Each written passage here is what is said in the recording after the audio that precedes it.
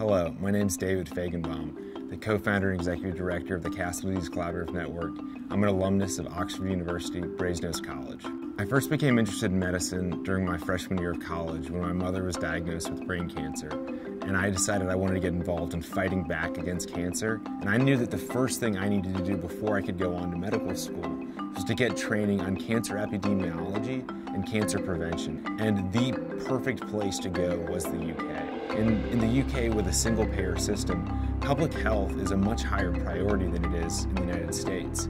So, being able to go to a place where public health interventions are implemented frequently, and then go to a school at Oxford where there was a department, the Department of Public Health, that is very uh, well known and accomplished at being able to turn research into true policy and practice change, really is, is complete unique experience that, that I couldn't have gotten anywhere else in the world. When I went to the UK, there's much more independent learning, and, and I feel like I learned how to learn in depth. And there was always discussion about how do you improve things and how do you make things better. And that's something that I've taken with me since then in trying to change the way that biomedical research is done. Up until now, biomedical research has generally progressed with groups raising as much funding as they can and then researchers applying to use the funding how they see fit.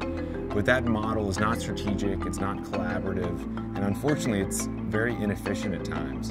So, of really questioning the existing model and trying to come up with new innovative ways to solve problems, we've come up with a whole new approach that's collaborative, strategic, patient focused, outcomes focused, where we've built a global community, prioritized the research that needs to be done, and then driven forward and executed on that research the main life experiences that I took away from the UK of questioning the establishment, of systematically trying to solve problems, and then the, just the growth experience of being in a new culture, those three things have had such a profound impact on my life. And I am 100% confident I would not be in the position that I'm in today had I not studied in the UK. So I, I encourage anyone who's considering studying in the UK to take advantage of the opportunity if you have it.